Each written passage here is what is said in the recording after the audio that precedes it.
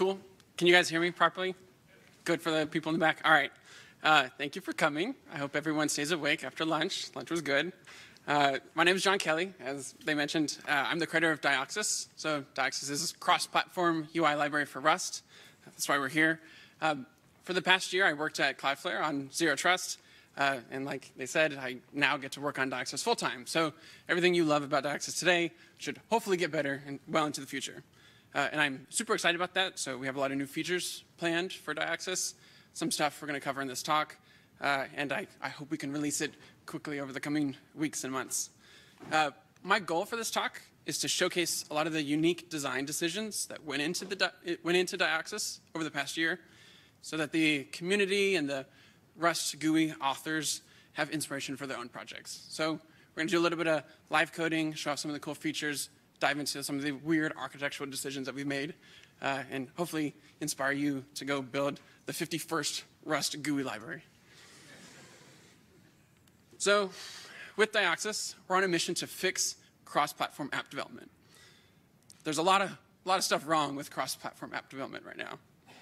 So in 2023, your users expect a lot. They expect apps that run everywhere. On your phone, you probably have Spotify installed. I pay $15 a month for Spotify, so I expect Spotify to work on all of my devices. I have it installed on my desktop, I have it installed on my phone, I expect it to work on the web, smart speakers, smart TVs, smart watches. Pretty much anywhere with a screen and a speaker, Spotify should work. So if one of you, aspiring, humble, indie app developer, wanted to compete with Spotify for whatever reason, your users would expect that your app would work everywhere that Spotify works. But there's a big problem. As an indie app developer, how are you expected to maintain an app on every single platform, especially a native app? Across Mac, Linux, Windows, iOS, TVs, you need to know like hundreds of different technologies and like seven, eight different programming languages. You can't, you can't do that. So there are options that simplify this. Uh, not a lot of them are that great. So if you play within Apple's walled garden, then you can get pretty far with Swift UI and UIKit. It seems like a lot of people here are networking, so Swift UI and UIKit are these libraries for drawing uh, apps to the screen on Apple's platforms. They don't support the web, but they do give you pretty decent code reuse across all of Apple's devices. You can share code from your smartwatch to your iPhone to a desktop app. But that being said, you are glued to everyone's favorite editor, Xcode. you need Apple hardware to develop an app, which sucks. And you really can't serve the 3.3 billion people running Android and surprisingly 1.3 billion people running WeChat mini apps. so what are your options? If you stick with JavaScript and React, then you have some decent choices. If you're going to build a desktop app, you can use Electron. If you want to build a mobile app, you can use React Native. And you want to do a full stack web app, Next.js has your back. But each of these projects have some pretty big trade-offs. Now, everyone hates Electron because you're, you're basically shipping Chrome just to run like Spotify or a little simple to-do list. So you're bloating your users' computers 200, 300 megabytes per app. React Native is also sort of a challenging development environment. You, run, you quickly run into issues with memory usage on lower-end devices. The performance isn't always there. You don't really have the flexibility to design UIs the way you want. Next.js is actually really good for doing full stack web development, but you can't really share any of your Next.js code with your React Native app or your Electron app. And that's really the biggest pain here. If you're an indie app developer, you want to share your code everywhere across all the platforms. If you build a button or slider for React Native, you can't share it with your Next.js project. Some logic can be reused, sure, some libraries. But if you're relying, if you're relying on any sort of native libraries, you just can't get a React Native project to share any code with a Next.js project. Now, there are a lot of options up here. Uh, we have Cordova. I don't know if anyone's used that. Uh, Xamarin, Tauri, which is a popular one in the Rust community, and Flutter. And I think Flutter is the closest analog to what we're trying to do with Dioxus. So Flutter fits the bill. It gives you a ton of features. It's made by Google, but it has one major downside. You need to know Dart. And I, I don't know Dart. I don't know anyone else who knows Dart. okay, we got some hands. Uh, the Dart ecosystem is limited to Dart. You can't really just pull in a Rust package. There is a really cool Rust crate that allows you to use the Flutter renderer so you get the entire Rust ecosystem, and you get to render, render with Flutter. But that's kind of still just this icky system that I don't want to have to deal with. I don't want Dart in my project. I just want 100% Rust. That's why we're here, Rust NL. So we want Rust completely in the stack. So we've talked a lot about apps, but we're here at Rust NL. We should be talking about Rust. That's where this conversation is going to go now. I assume we all love Rust. We love cargo, RustDoc, portable binaries, strong type system, no seg faults, all that great stuff. So we have all these superpowers. What is the Rust community's answer to this cross-platform app development problem? Well, until now, Rust's app story has been pretty immature. Obviously, to start building an app, you need a GUI library. If you can believe it, there are over 50 Rust GUI libraries, and yet there's no clear winner. But the ecosystem seems to agree. They've created over 50 GUI libraries. Rust could be an amazing language for app development.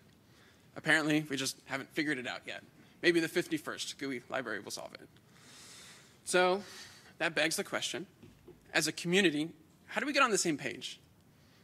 What do we need to make a viable alternative to Flutter or React Native? So I personally think the solution that will come out of Rust has to play into Rust's strengths. And it comes down to basically three main points. Number one, Rust can cross-compile basically everywhere in a way that makes JavaScript insanely jealous. You can run Rust on ARM components, x86, STM32, WebAssembly. There's no user or target Rust can't reach right now. Our UIs should be the same. Our widgets and buttons and components should look and feel the same no matter the target. If I spend an hour wasting my time to make a button look pretty for my web app, I want that exact same button to look the same for my mobile app. Number two, Rust gives us the power to manually manage memory and performance. Authors should be making their libraries so fast that nobody even bothers to look at benchmarks. It's Rust.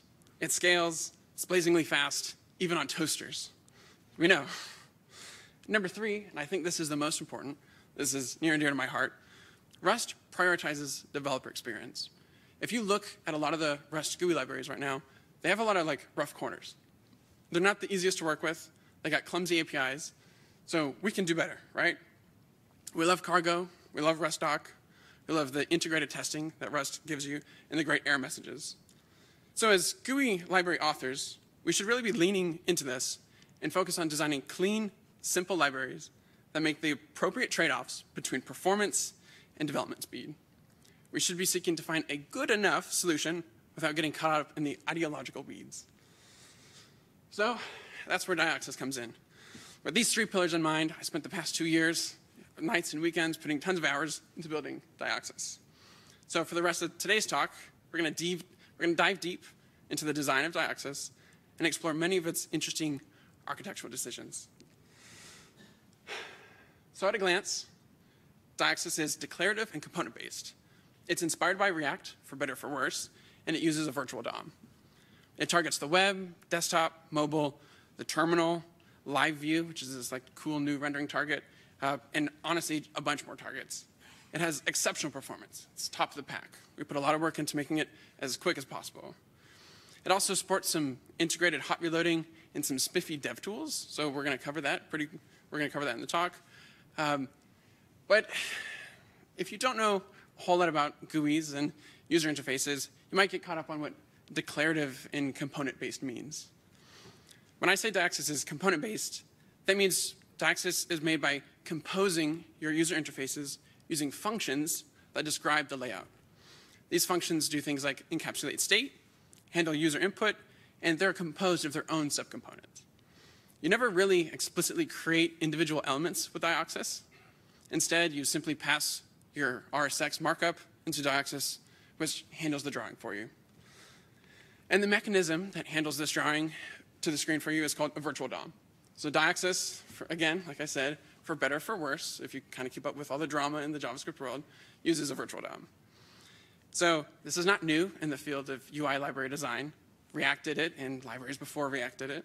So I'm going to paraphrase React's documentation here. They do a pretty good job of explaining what a virtual DOM is. And this is pretty core to understanding a lot of the features that come out of Dioxus. The virtual DOM is a programming concept where an ideal or virtual representation of a UI is kept in memory and synced with the real DOM by libraries such as Dioxus. This process is called reconciliation. This approach enables the declarative API of Dioxus. You tell Dioxus what state you want, and it makes sure that the DOM matches that state. This abstracts the typically error-prone manual manipulation of DOM elements that you would otherwise have to do for your apps. If you've ever written any UI kit in Apple land, you know how hard it is to keep your UIs in sync with complicated user interaction. Whenever the state of your app changes, Dioxus will render your components. And because components are functions, Dioxus is just simply calling those functions and returning an element. Dioxus assembles these elements into a, a tree or a virtual DOM. It determines any changes necessary between the old state and the new state. And then it takes those list of changes and it sends that to a renderer, which knows how to patch the screen and draw your widgets and squares and circles and text. So I've talked a lot. Uh, I want to show off some live coding, so you're going to have to bear with me while I futz with the prompt prompter. Um,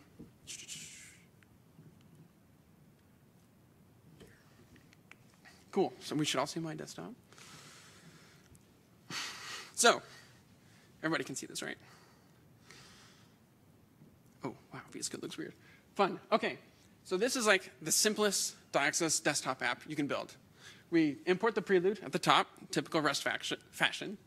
In our main, we are using Dioxus desktop, which is a renderer, and we're calling the launch function.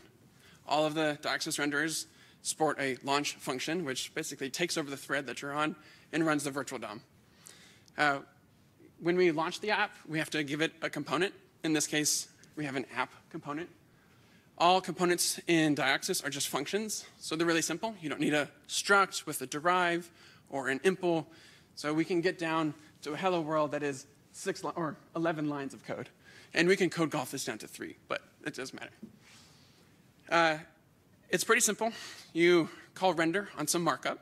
Uh, this is typically provided by this RSX macro. There are alternative macros you can use.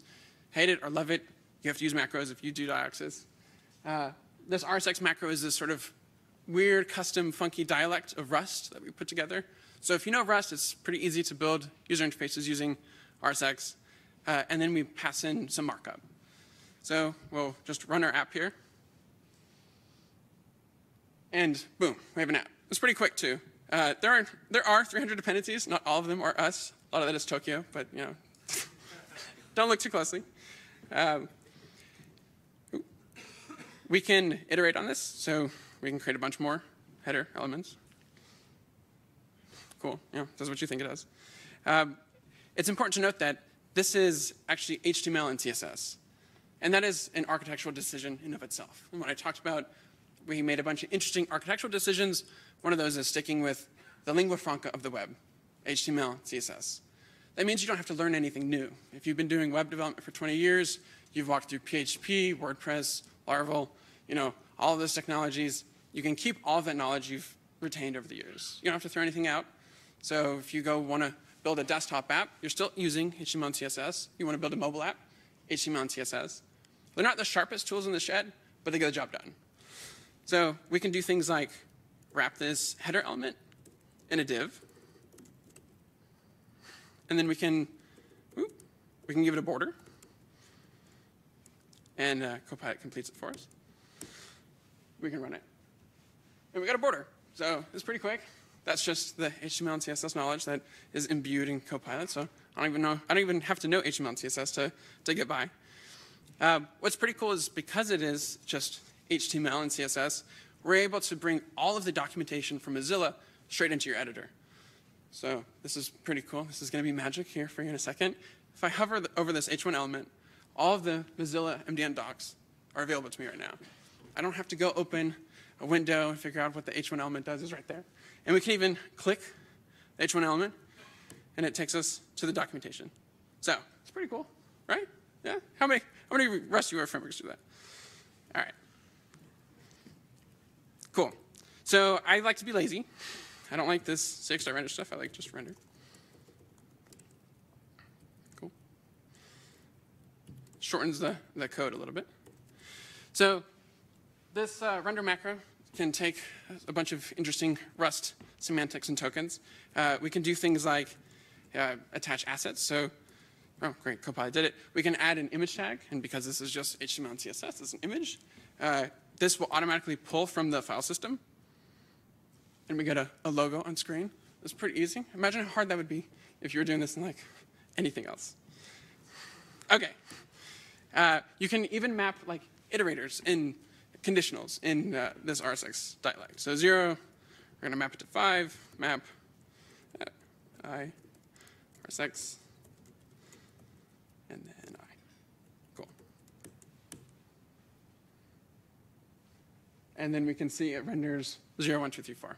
So iterators map in pretty easily. So it's pretty, pretty simple to, to do things like rendering lists.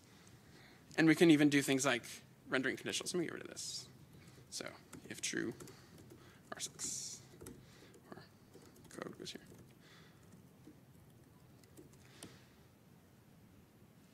Cool. And we have code goes here. So you can see it. So it's pretty simple to, to compose your user interfaces using the RSX macro. Um, we can get pretty complicated with it. We can even add, uh, let's say, some sort of event handler onto this header element. So we can add an onClick, and then we just print. Clicked. Oops, still running that. So now whenever we click the header, it's not a button, but it's still clickable, we can see that click gets printed. So it's pretty easy to add like interactive functionality to your markup. Uh, what's important to understand, and we talked about this virtual DOM stuff, is that when our apps are rendered, they're only rendered when we tell them to be. So rendered. In this case, oops, we're still running the app. In this case, we see that the component is rendered only once. And when we click the title, it doesn't get re-rendered. So this exists in uh, React as well. You have to tell React that this component is dirty and needs to be re-rendered. Typically, you go through use state, set state, uh, but in Dioxus, you can just do it explicitly. So we still have this going on.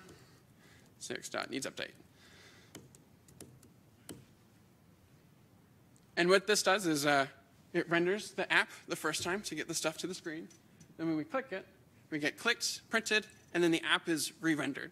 So when Dioxus goes to reconcile the state of your app, it will take the old state and the new state, compare the differences, it's called diffing, and then send those changes to the, uh, to the renderer.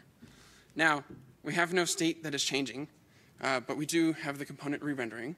So let's add some state that changes. Uh, that's pretty easy. So let val equals state.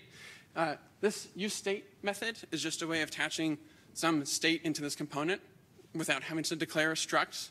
Explicit state management is done just through these like little creation functions. So this value will be evaluated to zero when it's initialized, and we can go modify it after the fact. Uh, what's cool is that, or use hook, sorry, use hook. What's cool is that this is giving us a mutable reference to a value if you've like worked with Rust UI libraries, this might seem just like really weird, right? This is a function. It's it's it's not a struct. There's no impl. There's no props. It's sort of like flipping the paradigm on its head a little bit, and we we have a, mutable reference to some value that we can modify. Uh, but what's what's really cool is that we can map the value into this dynamic text, and at the same time, we can modify it. Plus equals one. So you probably won't see this in a lot of other Rust frameworks. There's no clones going on. There's no weird semantics. It's actually, it looks just like JavaScript. And what we're doing is, is using the lifetime system of Rust to our advantage. This val has an and mute to some value, right? So this lifetime of the value is actually threaded between scope and element, which means the onClick handler is also sharing the lifetime of scope and element. You don't see the lifetimes because they're hidden here, but if we hover over it, you see this like tick a lifetime. What Rust is doing is aligning the lifetime for us. It's making it a little bit cleaner, a little bit easier to work with. Um, it's hiding some of the annoyances, but we go run the app, it compiles, we click the title, and it increments. It looks like JavaScript, right? It's pretty crazy. I think that's crazy. I don't know about you guys.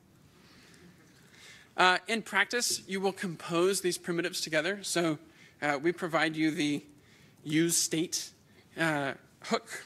val equals use state, which essentially we did that save state into a hook and that needs update. This uh, use state value, use state hook just combines both of that into this cool functionality. I'm going to make this mutable. Uh, cool. Oh, and we don't even need needs update anymore. So this is pretty this is pretty slick. Uh, essentially, we've overridden the plus equals operator, the add assign operator in Rust, which whatever handle this use state is giving us, it's not a normal value. It's a use state that's generic over some type. In this case, it's generic over uh, in I32. Whenever we do this plus equals, because we've overridden that trait, uh, that needs update and set state is happening all at once. So a little bit clever, a little bit hidden behind the scenes, but very clean. So again, we got this going on. Cool. So I said before that in Dioxus, your user interfaces are composed of subcomponents. So we're going to do a thing here, we're going to abstract our state away, and we're also going to clean things up over edit. So we cleaned up our app component. We're going to make a new app component, CX scope, element. We're going to call this one uh, fancy button. Fancy button. And we'll make a bunch of them. So very quickly, in like five seconds, I was able to abstract that button component that we had been iterating on and to its own component. And now we have a new app that is rendering for those buttons. And hopefully, if I run this, we should see four buttons. Or actually, four headers in this case. So, and each one has its own state encapsulated inside of it. So this was pretty quick. Like in the span of like five minutes, we spun up an app that has four counters, self-contained in their own, you know, little domains. They're, they're like tiny little render loops that are all disconnected, and the state is separated. So if we wanted to share state among these fancy buttons, uh, we would add some sort of props. And if you're familiar with React, React has props. They're just a, like a blob of values that you can pass in. In Rust, we use a struct, struct fancy button props, text. We'll just use a static string, and we're going to derive partial equal and props. Uh, by default, Dioxus requires you to implement partial equal for your props. This means it actually compares your properties when it goes to check if the component should be re-rendered. If the properties haven't changed, the component won't be re-rendered. This is a little deviant from React, which always re-renders your component, and you have to explicitly opt into memoization. With Dioxus, you opt out of memoization. So it's much faster by default, and it's a little bit easier to reason about. Uh, I'm going to save the file, and we should get an error. Oh, actually, no. Hold on. We actually have to use the, the props. So now we get an error. Uh, this is, we're kind of abusing Rust uh, like expansion macros, but if you look, if you look real closely, we tried to, we tried our best to give a good error. Uh, fancy button props builder error missing required field text. Uh, you can you can kind of figure out what's going on here. Uh, at least, hey, at least we get a strong type system. At least it doesn't compile. Uh, yeah, cool. So this will compile. Two, three, four. Now, in our buttons, we haven't actually used this state yet. So what we can do is, uh, hello RustNL. Let's change this to a button real quick. Uh, and then we'll put the cx.props.text. Again, this compiles. Everything's working. Cool. You should see buttons. They're small. Okay, we're zoomed in. All right. You get a button. You see how this one says one, two, three, four. Cool. So we've abstracted state. We're sharing it from parents to children. You kind of get the React model. What's cool is how clean everything is and how it all just like fits together. It's certainly one of the cleanest Rust libraries for managing state out there. Cool. Uh, if we wanted to go a little bit cleaner, we totally could. Uh, instead of having this fancy button props struct, we can just abstract this out. We'll copy this text. We have yet another macro. I hope you love macros, because we have lots of.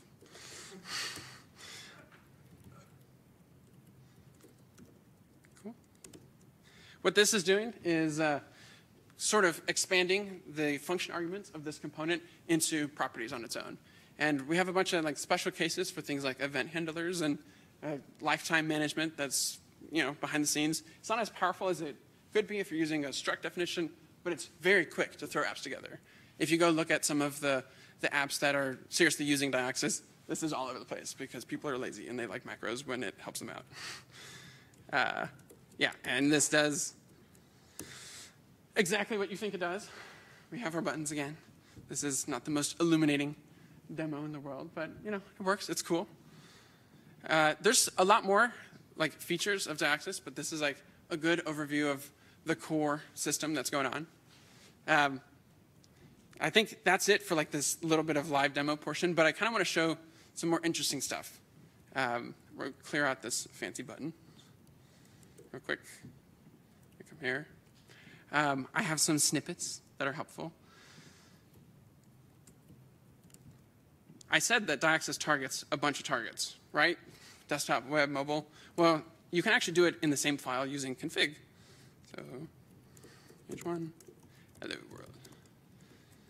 Cool. So on WASM targets, WebAssembly, when we target Rust for the web, it will use Dioxus Web to launch the app. When we're targeting non-WASM targets, like my local computer, it will use Dioxus Desktop to launch the app. So we can run our app. We'll just do cargo run and we get a desktop app. Okay, right? We've been seeing it the whole time. Well, we can do Dioxus serve. We do a little bit of compile. We go to our address. The same app is now rendered in the web. So we've got two targets under one code base. So literally, the same code base works everywhere. Um, we can even do mobile. Setting up mobile takes a while, so I have it like prefabbed out. Uh, we got our, our mobile we have just a, a simple code base. That is, uh, this is like a to-do MVC. It's like the basic to-do app that everyone stresses their framework with. Uh, the code is not necessarily important. The, the artifact is. So we can run our app. Build succeeded. Great. Live demos actually work. We got an iPhone. Hey, we have a, a mobile app written in Rust on iOS. And it actually works. I hope it works. Rust, no. Oh, cool, it does. All right, to-dos. All right, so yeah, yeah, it's, it's typical to-do app. You can hide, complete. Cool, all right, so we got, what do we show? We got desktop, we got mobile, we got web. What else do we have up our sleeves? Well, we have the terminal. I think this one is really cool. Uh, this is this is React in your terminal, and you can hover at 120 frames per second. That's pretty cool, right? Uh, the colors change, you know, it's kind of trippy. I've never seen a terminal app that looks like this before. This is, this is super cool. All right. Okay, all right, I'm just like super into that. Uh, we also have a web GPU based renderer. So if you like trippy squares, this one's gonna be real fun. Okay, all right, we're gonna have to zoom in. So this is an HTML CSS renderer. Uh, it's not 100% compatible yet. You know, we're getting there building a browser takes a while. Uh, we have solved CSS layout. So Flexbox, we have a project called Taffy, which has implemented uh, most of Flexbox, a good chunk of CSS Grid. It's not, you know, 100% browser compatible. I don't think we'll ever get there, but it's good enough. It's good enough that I can move my mouse around and we can like click on buttons and, you know, do things. And this is just all written with like that same HTML, CSS syntax. It even has like tab, so you can you have like tab index, which is another browser thing. So things like doing focusing and that kind of stuff. Uh, even has like keyboard input. So I hit space, you change the color. Pretty cool. We can uh, make it bigger. If you like trippy squares, we got them. uh, it's, it's pretty quick. I, it's not quite 120 frames per second. It's more like 50 to 60, depending on how many squares you're rendering. Um, we're relying on Vello, which is uh, an API written by uh, Raph Levien. He's like known for Xylem, Druid. So we're kind of leaning on the, the community at large to implement a lot of these things. This could easily be implemented with Makepad's rendering engine, which is pretty cool. So we're super render agnostic. Uh, we don't really care what we're rendering with as long as there is a renderer. Uh, we can keep adding tiles. At some point it slows down because we're not running in release. Yeah, yeah, we're not running in release, so you know, it slows down at some point. Cool. Uh, I have another cool app to show you. This is more of like a an app that's being used in production. So this is kind of, this is like top secret. I don't know if I'm supposed to show you this, but it's a full production app that's being shipped with Dioxus today. Uh, there are 900 dependencies in this app, by the way, so it, it, takes minutes to compile, but not in incremental mode. Uh, cool. So this is this is like a Discord competitor. Uh, there are chats you can like scroll through. Uh, this is a desktop app. We're running in like release mode. Um, we can have favorites. We can unfavorite things. We can go to our settings. It's kind of hard to see. Uh, Dioxus desktop supports like pop-out windows, so we can click on our images and cool. So we get a, a nice, beautiful Instagram-worthy photo. Um, and all of this is done within like the same toolkit, and it works everywhere. Uh, I don't think you're going to be like shipping a lot of this to the web. There's some like specific technologies that are using like the desktop type libraries. There's like a federated protocol, but you totally could if you wanted to. If you want to go through the hassle of getting these libraries working on WebAssembly, totally possible. Uh, sorry. Oh.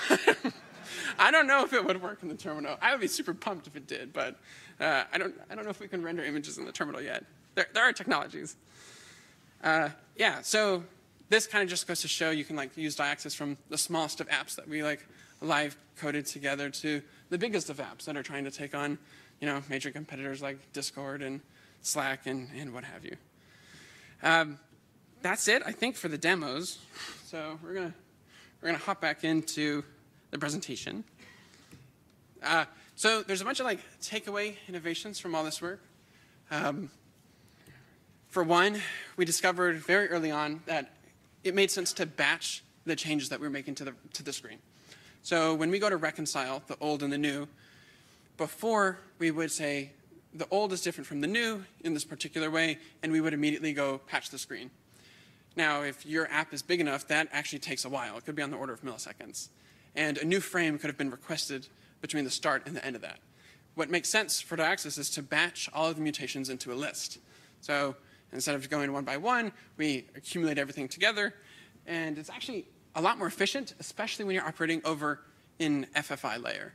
In most of our renderers, the Rust code is not living in the same process as the renderer. So in the case of WebView, the WebView window is running in its own process, and your Dioxus code is running in another process, and you have to communicate. If you patched the, the screen one by one, it would be really slow. So we, we bunch everything up into like a list of mutations, uh, and we can send it over the network. This is pretty cool because as long as any client implements the Dioxus mutation model, it can be driven by virtual DOM. So we have a live view client, which is pretty cool, which is the virtual DOM living on a server and a client living in someone's browser. And the server can drive all of the updates to the page without shipping any JavaScript or any Rust down. So just some HTML, a small JavaScript shim layer that implements the, the Dioxus mutation model, and there you go. You have a client that can operate via Dioxus. Uh, we also discovered, and this is important for other GUI libraries that are working in the WASM space, that string interning is super helpful in WebAssembly. If you don't know, uh, Rust stores its strings in UTF-8, but all the browsers store their strings in UTF-16. So anytime a string has to move out of WebAssembly into JavaScript, it has to be encoded and decoded. And if you're doing that a lot, even for the same strings, it gets really expensive really fast. So one thing we discovered, and we're trying to get this out in the air so everybody's really fast, is that you can intern all these strings at that boundary. And we kind of took this model a little bit further uh, with something called Sledgehammer. So we, we interned all of the strings that you could think of that are relevant to the web model, and we put all of the matching together, and we made it so fast that it's actually faster than vanilla JavaScript. Uh, there could just be like noise in the test harness, uh, but it's really cool. It's, it's faster than WASM which is the library that typically people go through to build their apps with. So Dioxus is not actually using WASM under the hood.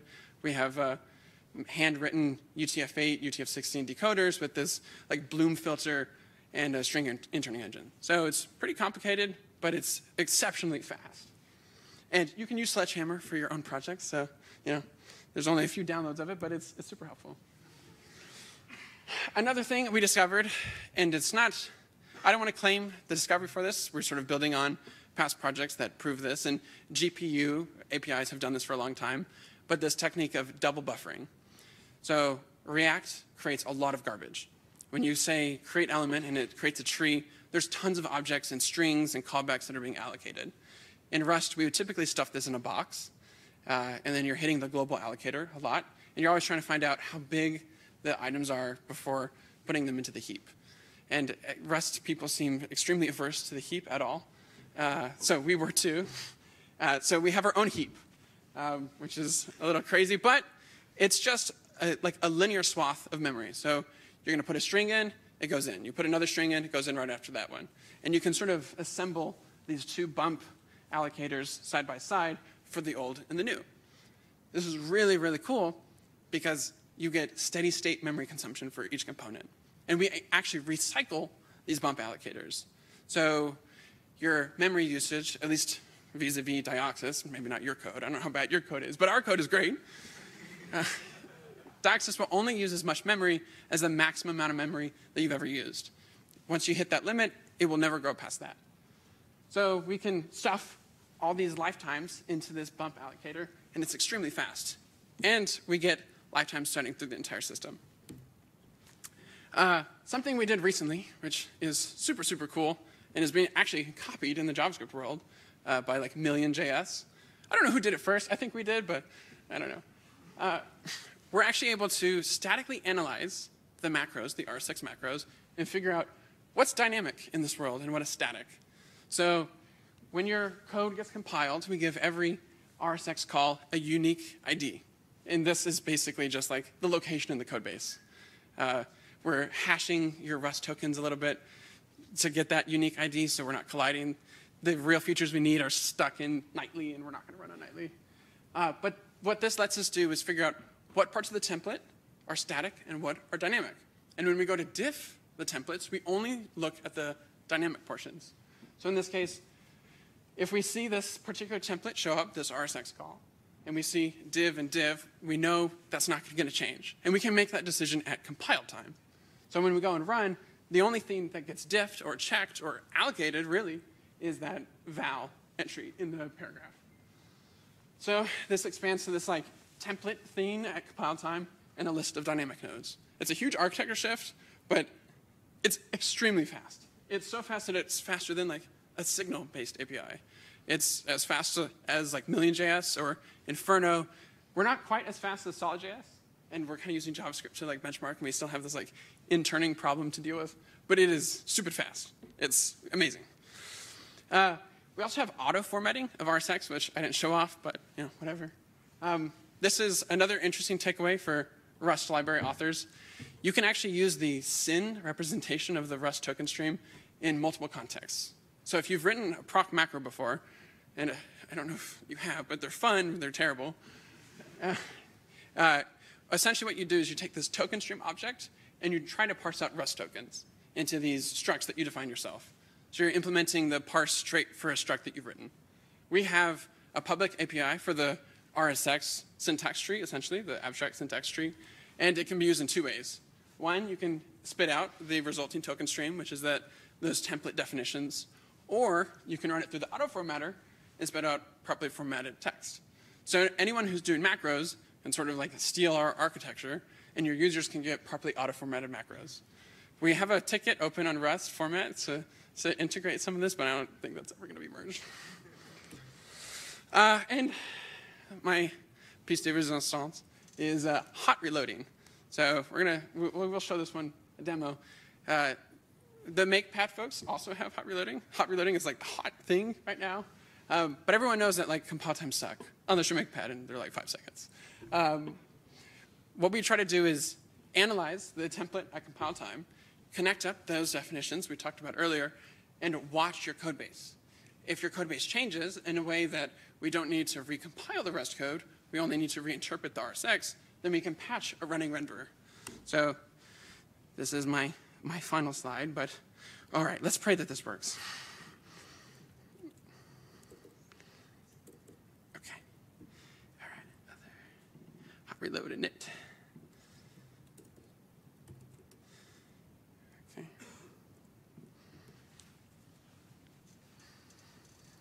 Okay, cool. So we turned on hot reloading. It says connected to hot reloading, right? So in this H1, we can modify our content, and it gets updated live without having to recompile the rest of it.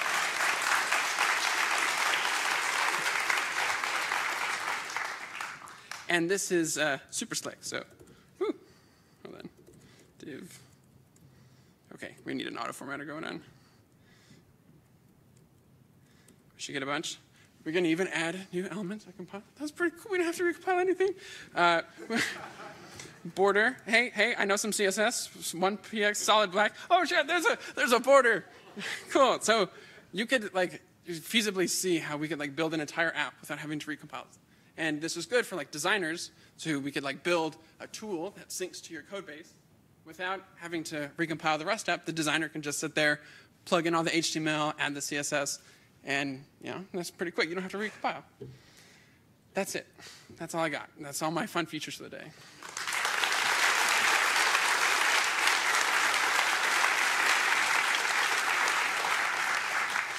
Who's got questions? We got one here. Well, I might ask you some more questions afterwards as well. Okay. But um, I was you, you, showed something about the error messages within macros and them not always being ideal. Yeah. Is there anything you need from the Rust compiler to improve that, or can you improve that without that? Is there any way you can make that scenario better? I would love to see some action on the Rust compiler. It'd be great if we could have like span locations in stable. Uh, I think a lot of proc macro authors would care about that. Uh, to get really good errors out of proc macros, you need to do partial expansion, which is complicated, especially in our case. Um, so I think part of it is us figuring out partial expansion or maybe some sort of help on the, the Rust compiler side uh, for us to build these really good uh, error messages. I think reflection might be needed, but I don't know, not but, enough. But do you think you can make this better? than it's right now? I think so. Okay. I think so, yeah. Thank you. Um, what's the accessibility story, if any? It's HTML and CSS. So you get all the accessibility that HTML and CSS has. Uh, you can open inspect element, uh, and you can start futzing around with uh, you know, ARIA labels and stuff. Kind of up to you, the developer, to add those labels yourself. But screen readers work right out of the box. And that's kind of why we did this HTML and CSS pathway, yeah.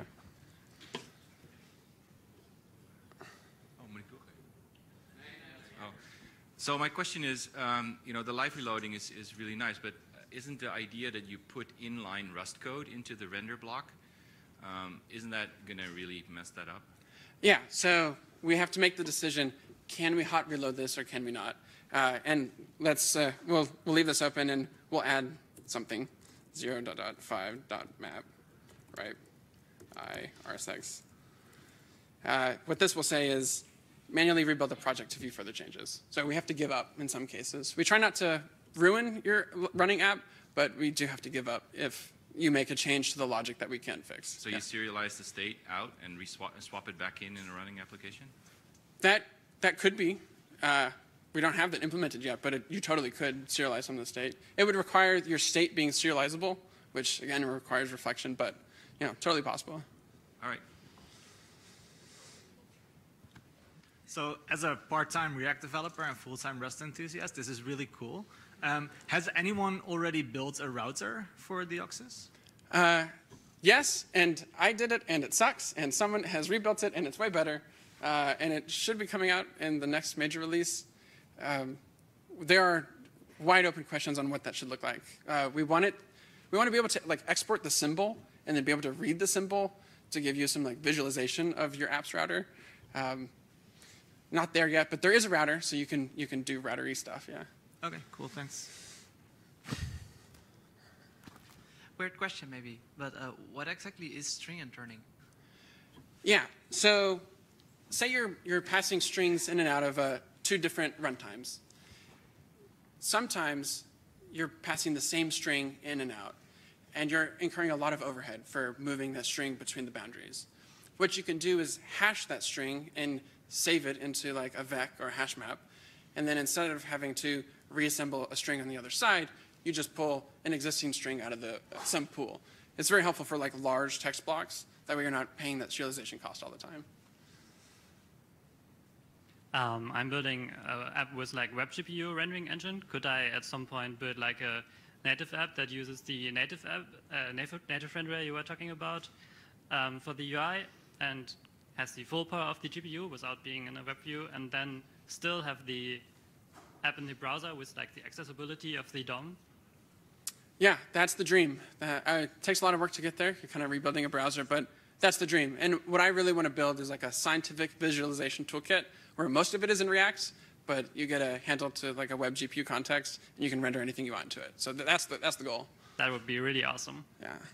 Yeah, can you pass it back? There's one more question over there that Oh, we're yeah. going to take, and then we have to move on. I was just curious, so how does it look on Android side of things, and does it still use Xcode for Apple compilation? Um, Android works. I don't have Android Studio installed on my Mac, but people in the community have got it working. Um, we're relying, again, we're leaning heavily on the ecosystem. The Tauri folks have done a lot of work in getting Tao and Wry, the, like the windowing and WebView engines working on Android and iOS. Um, so we're kind of just piggybacking off their work. But uh, Android works today. I haven't explored with it a lot. I, I don't run Android in my day-to-day, but I can tell you it works. Thanks, Jonathan, for your cool talk.